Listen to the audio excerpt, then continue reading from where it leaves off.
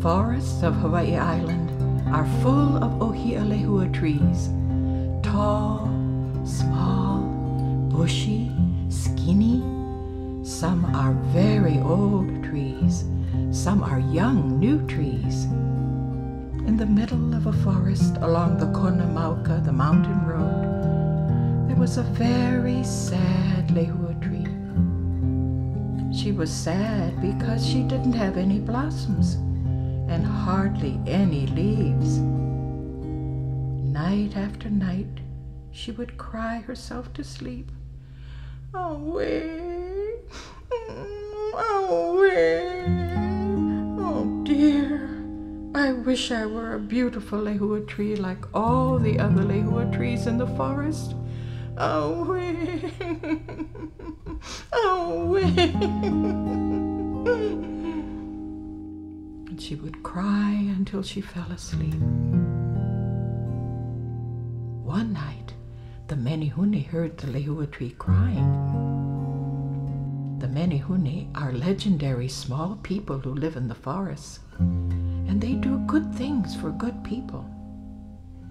The Menehune crept out from behind the rocks and bushes and made a magic circle around the sad lehua tree. There at the roots of the sad lehua, in the soft ground, the Menehune saw little mounds of earth built by the land shells, the Pupu Kanioe.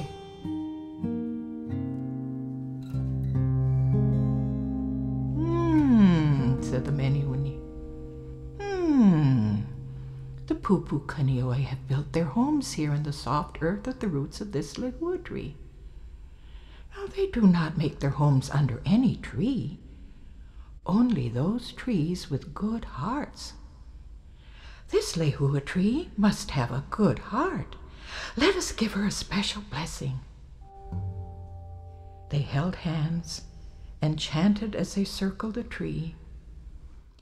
Moe akuika hale hale o kapupu kanioe. Asleep, asleep amidst the amau fern, the sad lehua tree sleeps. Hiamoi mai kai, hiamoi mai kai, sleep well, for you are blessed.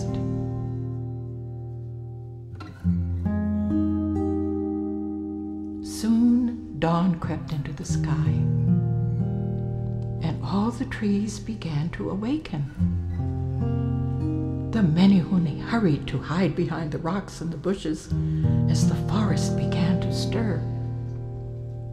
The trees stretched their branches and rustled their leaves.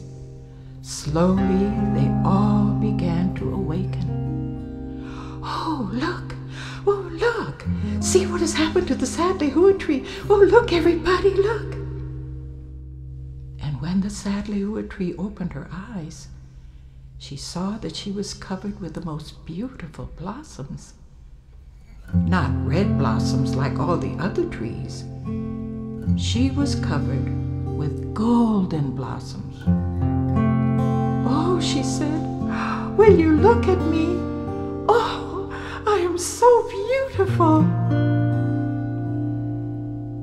The Menehune, hiding, heard her happy voice and they couldn't keep from laughing. Have you heard Menehune laugh? They sound like little bells tinkling.